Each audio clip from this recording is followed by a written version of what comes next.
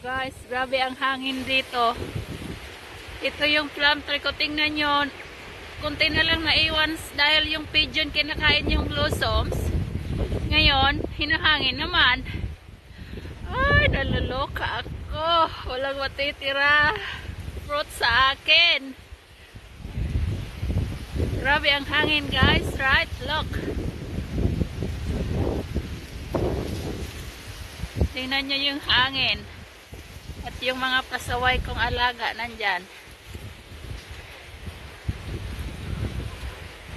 Nagpo-form na sana sila ng prutas. Oh, I mean, oh. Tingnan mo, nagpo-form na sana siya. Ayan, oh. Nahulog na yung mga petals.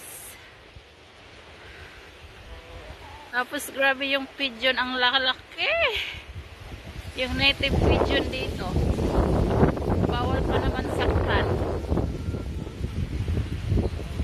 Makukulong.